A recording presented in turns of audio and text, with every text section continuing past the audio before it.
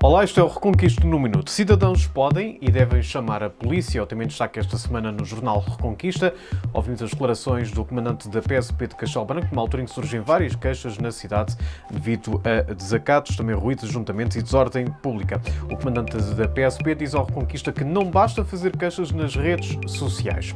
Neste jornal falamos também da administração do Hospital da Unidade Local de Saúde de Castelo Branco, que reparte as competências eh, deixadas por Vera Pires, que deixou eh, a administração, a presença da administração por razões de aposentação, isto enquanto se espera a nomeação por parte do governo de um novo Conselho de Administração. É também notícia neste jornal a lotação das praias fluviais do Distrito.